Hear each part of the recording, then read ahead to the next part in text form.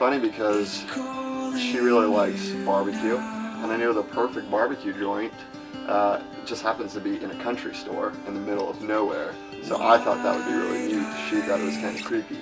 Uh, but uh, no, yeah, we just headed off. Probably sat down in a booth and just talked for like three or four hours, and then I just followed up and met each other later that week. Went to the beach the weekend, and uh, just took off from there.